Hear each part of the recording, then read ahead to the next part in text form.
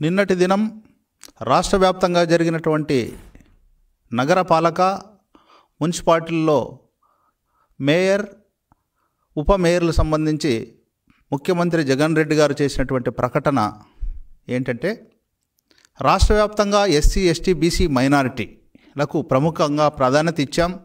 వాళ్ళ కోసమే మేము ఈ ప్రభుత్వాన్ని నడుపుతున్నాం. వాళ్ళే నా శ్వాస ధ్యాస ఊపిరి అని చెప్పినటువంటి ముఖ్యమంత్రి పచ్చిగా అబద్ధాలు చెప్తున్నాడు అనడానికి నిదర్శనం. నిన్నటి దినం ఆయన చెప్పినటువంటి స్టేట్మెంట్. ఒకసారి నిజాలు నిర్ధారణ ఒకసారి చూసినట్లయితే రాజ్యాంగపరంగా రావాల్సినటువంటి ముప్పై నాలుగు పర్సెంట్ రిజర్వేషన్ బీసీ రిజర్వేషన్ని ఇరవై నాలుగు పర్సెంట్ తగ్గించాడు. ఈ టెన్ పర్సెంట్ తగ్గడం వల్ల రాష్ట్ర వ్యాప్తంగా పదహారు వేల ఎనిమిది వందల మంది వార్డు మెంబర్లు సర్పంచులు కౌన్సిలర్లు కార్పొరేటర్లు మేయర్లు ఉప మేయర్లు అదేవిధంగా చైర్మన్లు కావలసినటువంటి పరిస్థితి పోయింది. మరి ఎస్సీ ఎస్టీ బీసీ మైనార్టీలకు ప్రాధాన్యత ఇచ్చినటువంటి ముఖ్యమంత్రి జగన్మోహన్ రెడ్డి గారు మరి ఈ రకంగా పదహారు వేల ఎనిమిది వందల పోస్టులు పోవడానికి కారుకుడయ్యాడు కాబట్టి బీసీలు గొంతు కోసినటువంటి ముఖ్యమంత్రి ఎవరైనా ఉన్నారంటే జగన్మోహన్ రెడ్డి అని చెప్పక తప్పదు. ఒక సామెత ఉంది. ఏంటి ఆ సామెత అంటే జగమెరిగినటువంటి సామెత అది. లెగ్ పీసులంతా మీ వర్గానికి ఇచ్చి కాళ్ళు గోళ్ళు మాకు ఇచ్చినట్లుంది.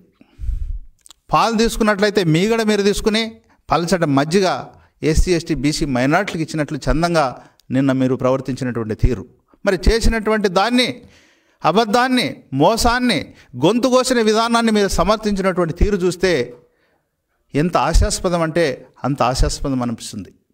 కేవలం నీ వర్గానికి సంబంధించి ఏడు వందల నలభై రెండు పోస్టులు కీలకమైనటువంటి సలహాదారులు అయితేనేమి వైస్ చే వైస్ ఛాన్సలర్ అయితేనేమి అదేవిధంగా యూనివర్సిటీకి సంబంధించి పాలక మండళ్ళు టీటీడీ బోర్డు మొదలుకొని అదేవిధంగా యూనివర్సిటీ సెర్చ్ కమిటీలు వైద్య ఆరోగ్య శాఖకు సంబంధించినటువంటి సంస్కరణల కమిటీలు ఉన్నత పదవులన్నీ కూడా అదేవిధంగా వ్యవసాయ మిషన్ వంటి పదవులన్నీ కూడా ఎనభై శాతం పదవులన్నీ నీ వర్గానికి ఇచ్చావు.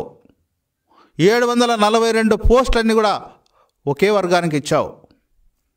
ఇక్కడ బీసీలకు సంబంధించినటువంటి మొన్న ఇచ్చినటువంటి కార్పొరేషన్లు ఈరోజు వరకు కుర్చీలు లేవు.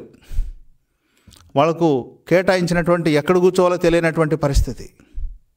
అదేవిధంగా నువ్వు ఇచ్చినటువంటి సలహాదారులు లక్షలాది ఐదు లక్షల నుంచి మూడున్నర లక్షలు శాలరీ వేతనాలు తీసుకుంటున్నటువంటి నీ వర్గం ఈరోజు పాలక మండలికి సంబంధించినటువంటి చైర్మన్లు కేవలం వేలల్లో సర్దావు.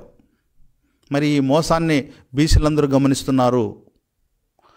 ఇవన్నీ చెప్పకపోగా ఎస్సీ ఎస్సీ బీసీ మైనార్టీలకే నేను ఇచ్చానటువంటి ముఖ్యమంత్రి చెప్పడం ఆ స్థాయిలో ఆశాస్పదమని మీ ద్వారా నేను తెలియజేస్తున్నాను.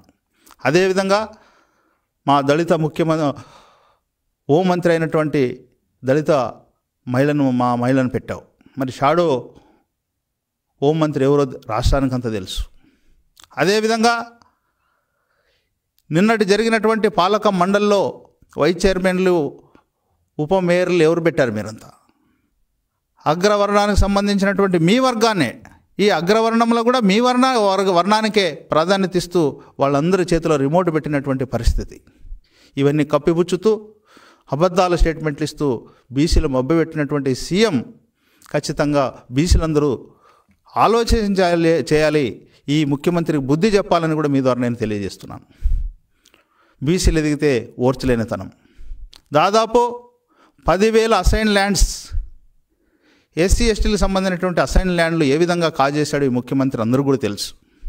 మరి ఆయన కథలు చెప్తున్నాడు. అదేవిధంగా మొన్నటి ఎన్నికల్లో ఎస్సీ ఎస్టీ బీసీలకు సంబంధించి పోటీ చేసినటువంటి అభ్యర్థుల్ని పోలీసుతో అధికార యంత్రాంగంతో ఏ విధంగా ఇబ్బంది పెట్టాడో రాష్ట్ర ప్రజలందరూ ప్రత్యక్షంగా చూశారు. ఆదాని ఆదోని ప్రాంతంలో ఎస్సీ కులానికి సంబంధించినటువంటి రంగన్న ఆయన పంటకు నిప్పు పెట్టే పరిస్థితి. అదేవిధంగా బీసీలైనటువంటి అచ్చెన్నాయుడు గారిని కొల్లు రవీంద్ర గారిని వెంటాడి వెంటాడి కేసులు ఇరికిచ్చి కేసు మీద కేసు పెట్టి ఏ విధంగా ఇబ్బంది పెట్టారో ఈరోజు అందరూ బీసీలు అబ్జర్వ్ చేస్తున్నారు. మరి ఈ ముఖ్యమంత్రి కథలు చెప్తున్నాడు. ఎస్సీల కోసం నేను బతుకుతున్నా ఎస్టీల కోసం నేను బతుకుతున్నా మైనార్టీల కోసం నేను బతుకుతున్నా బీసీల కోసం చెప్తున్నా.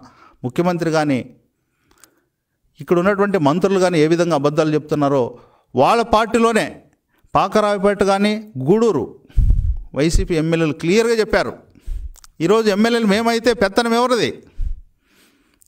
జగన్ రెడ్డి సామాజిక వర్గానిదని వాళ్ళ పార్టీలోనే ఎమ్మెల్యేలు చెప్పారు. ఈ రకంగా ఈ ప్రభుత్వం ఈ ముఖ్యమంత్రి బడుగు బలహీనాలు వర్గాలని బక్రాలు చేయడానికి నానా తంటలు పడుతుంది అబద్ధాలు చెప్తున్నా అనడానికి నిన్న ఇచ్చినటువంటి స్టేట్మెంట్. ముఖ్యంగా మరి జనాభా పరంగా చూసినట్లయితే బీసీలు యాభై నాలుగు పర్సెంట్ ఎస్సీలు పదిహేడు పర్సెంట్ మరి ఎస్టీ సోదరులు ఏడు పర్సెంట్. అంటే దాదాపు ఎనభై పర్సెంట్ ఉన్నటువంటి ఎస్సీ ఎస్టీ బీసీ మరి మైనార్టీ సోదరులు ఆరు పర్సెంట్. ఇవన్నీ కలుపుకుంటే ఎయిటీ పర్సెంట్. మరి పదవుల రీత్యా చూస్తే మరి న్యాయంగా ఎవరు రావాలి? ఎనభై ఐదు పర్సెంట్ ఎస్సీ ఎస్టీ బీసీ మైనార్టీలు రావాలి. మరి కేవలం తక్కువ సామాజిక వర్గం ఉన్నటువంటి మీకు ఏడు వందల నలభై రెండు పోస్ట్ అంటే ఎనభై ఐదు పర్సెంట్ శాతం మీ వర్గానికి ఇచ్చావు నువ్వు. మరి ఇది అన్యాయం కాదా? ఇది మోసం కాదా? బీసీలను బక్రాలు చేయడం కాదా? ఎస్సీ ఎస్టీ బీసీ మైనార్టీల పేరు మీద నువ్వు ఆడుతున్నటువంటి నాటకం ఇది ప్రజానకానికి మోసం కాదని మీ ద్వారా నేను అడుగుతున్నా. ఈ ముఖ్యమంత్రికి ఈ వైఎస్ఆర్సీపీ ప్రభుత్వానికి ఎస్సీ ఎస్టీ బీసీ సోదరులందరూ కూడా ఆలోచన చేయాలి. త్వరలో మరి నిన్ననే ఎలక్షన్ కమిషన్ నోటిఫికేషన్ ఇచ్చింది. తిరుపతి ఉప ఎన్నికల్లో ఎస్సీ ఎస్టీ బీసీ మైనార్టీ సోదరులందరూ కూడా ఆలోచన చేయాలి. ఈ ముఖ్యమంత్రికి బుద్ధి చెప్పాలంటే త్వరలో జరగబోయే తిరుపతి ఉప ఎన్నికల్లో అందరూ ఒక్కసారి ఆలోచన చేయమని మీ ద్వారా అప్పీల్ చేస్తున్నా. ఈ జరిగినటువంటి అన్యాయాన్ని రాజ్యాంగ పరంగా రావాల్సినటువంటి ముప్పై నాలుగు శాతం రిజర్వేషన్ ఇరవై నాలుగు శాతం తగ్గించినటువంటి ఈ ముఖ్యమంత్రి మీద ఏడు వందల నలభై రెండు పోస్టులు అంటే ఎనభై ఐదు పర్సెంట్ పోస్టులు ఇచ్చి మరి బడుగు బల బలహీన వర్గాలు అవమానపరిచినటువంటి ముఖ్యమంత్రిని బుద్ధి చెప్పాలంటే రాబోయే ఉప ఎన్నికే అందరూ ఛాలెంజ్గా తీసుకొని అధిక సంఖ్యలో పాల్గొని ముఖ్యమంత్రికి ప్రభుత్వానికి బుద్ధి చెప్తే తప్ప ఈ ముఖ్యమంత్రి మూర్ఖపు ముఖ్యమంత్రి మన దారికి వచ్చే పరిస్థితి లేదు. లేదంటే విచ్చలవిడితనం ఎక్కువైపోయి రాష్ట్రంలో ఏ విధంగా జంగిల్ ప్రభుత్వం నడుస్తున్నది ఇక్కడ. మనం చూసాం లోకల్ బాడీస్ ఎన్నికల్లో అసలు నామినేషనే వేయకూడదనే పరిస్థితి తీసుకొచ్చాడు. నామినేషన్ వేసినా మరి అభ్యర్థుల్ని మభ్యపెట్టే పరిస్థితి. పోలింగ్ రోజున మరి ఏ విధంగా బెదిరించేది రౌడిజం చేసేది ఇవన్నీ చేశారు. గెలిచిన తర్వాత కూడా ఏ విధంగా వాళ్ళని మభ్యపెట్టడం భయపెట్టడం మరి ఏ విధంగా చేశాడో అందరూ కూడా చూసే పరిస్థితి. అంటే ఈ ముఖ్యమంత్రికి ప్రజాస్వామ్యం మీద కానీ లేదా వ్యవస్థల మీద కానీ నమ్మకం లేదు. ఎంతసేపున్నా తాను రాసినటువంటి రాజ్యాంగాన్నే అమలు చేయాలి తాను చేసినటువంటి పాలసీలు తీసుకొచ్చే పరిస్థితి ముఖ్యమంత్రి చేస్తున్నాడు. మరి దీనికి చెక్ పెట్టాలంటే మెజార్టీ ప్రజలైనటువంటి ఎనభై పర్సెంట్ పర్సెంట్ ఉన్నటువంటి ఎస్సీ ఎస్టీ బీసీ మైనార్టీ సోదరులందరూ కూడా చదువుకున్నటువంటి ఉద్యోగులు చదువుకున్నటువంటి విద్యార్థులు రైతులు మహిళలు అందరూ కూడా ఆలోచన చేయాల్సినటువంటి పరిస్థితి. మరి ఈరోజు ఏడు వందల నలభై రెండు పోస్టులు అనుభవిస్తున్నటువంటి తన సామాజిక వర్గాన్ని ఈరోజు ఎవరు ప్రశ్నించే పరిస్థితి లేదు. దయచేసి ఆలోచించండి ఉప ముఖ్యమంత్రి పదవులు ఇచ్చానన్నాడు. అదేవిధంగా మరి కీలకమైనటువంటి పదవులు ఇచ్చిన నేను అబద్ధాలు చెప్తూ ఈరోజు వరకు ఎవరు ఉప ముఖ్యమంత్రో ఎవరో వాళ్ళకి అన్ని పదవులు లేవు. కార్పొరేషన్ చైర్మతే ఘోరమైనటువంటి పరిస్థితి. ఇంతవరకు నిధులు లేవు విధులు లేవు. మరి బడుగు బలహీన వర్గాల్ని ముఖ్యమంత్రి ఉద్ధరిస్తున్నట్లా న్యాయం చేస్తున్నట్లా ఒక్కసారి దయచేసి ప్రజలందరూ ఆలోచించాలి.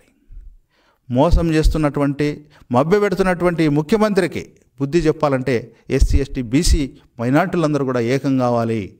ప్రశ్నించాలి.